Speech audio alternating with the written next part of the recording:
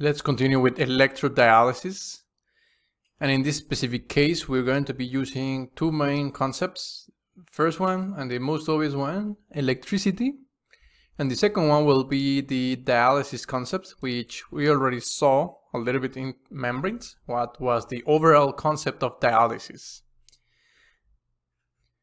We will be using a permeable membrane, which allows cation and anion flow uh, this is great. And this is of interest because what we want to do is to selectively be able to move cations and anions according to their charge. This will prevent migration of species of similar charges. The main goal is to remove ions from solution, so I want to get this clear. So in some cases you could say that you want to recover certain ions, but the industrial application I see the most is solvent recovery. You want to clean up this solvent and you want to remove all the ions. So this is the likely approach. We want to decrease the concentration of the solute in the solvent. Or we want to remove a solute completely. Or we want to maintain our focus in the solvent. It involves the migration of ions through ion exchange membranes and please do not confuse with the ion exchanger. Even though it's a similar process, we are adding electricity to favor the ion movement. So remember the anode and the cathodes and the uh, negative and positive charges are going to be moving accordingly. The flux of an ion through the membrane is dependent upon its charge. The bulk concentration of the ion and its mass transport to the membrane surface will depend on that as well. In this way, species can be removed from reaction mixtures and waste streams, thereby reducing the need for costly disposal and purification.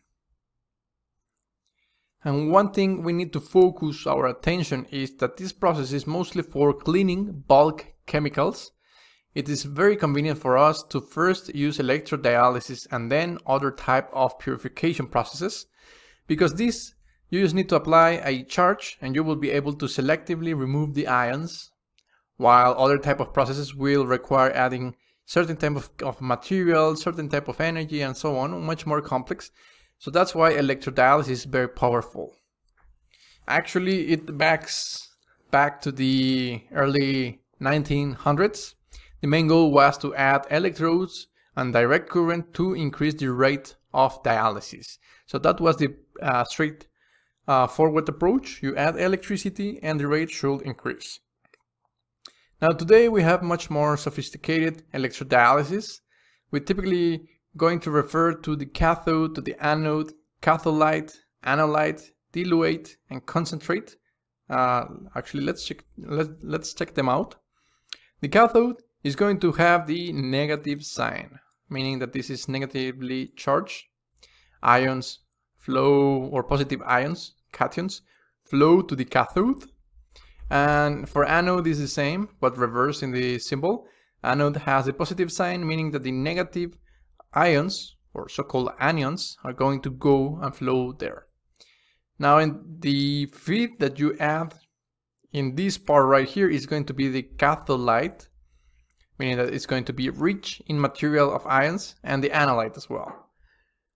In between we have several type of materials, so this is a composite cell, but typically you will have only two of them. The diluate, which is the material which has been diluted or has been losing ions, and the concentrate, which is the original feed that must be removed or decreased in concentration. There can be many sections which are separated depending on the type of membranes. So this is an example, electrodialysis.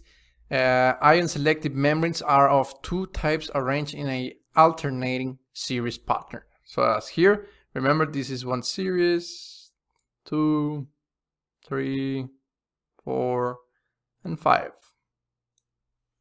So the important part right here is to understand that typically you're not going to see big uh, systems, you're going to see repeating systems. For instance, here we got seawater. Uh, probably you're wondering already, why do we use seawater? Because we want to clean the uh, seawater and remove all the ions, which are cations and anions. So here we go, we add the seawater in all these cells. we go the cathode and the anode. And eventually what's happening here is that the ions start moving all the way to the left to the right, and the concentration of ions decrease. So we get these streams, which are very low in ions, and we get the concentrate, which is the reverse.